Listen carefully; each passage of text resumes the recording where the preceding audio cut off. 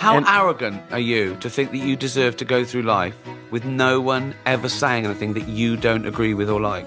I, I want people to stop saying that joke's offensive. Yeah. I want them to start saying I found it offensive because that's all it is. You're Yeah. just telling me how you feel about it. Yeah. There's nothing intrinsically offensive about this joke. It- but it's it- trying to make I'm offended sound important.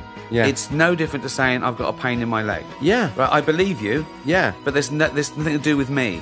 Yeah, but you shouldn't hurt people's feelings. Well, you can if their feelings are wrong. Yeah, yeah, You know, yeah. get, if, Yeah, you, if you don't like the facts, get, Yeah, don't yeah. change the facts, change the feelings. Yeah. So you don't have to pave the jungle. Yeah. You can just grow a pair and have a laugh about it.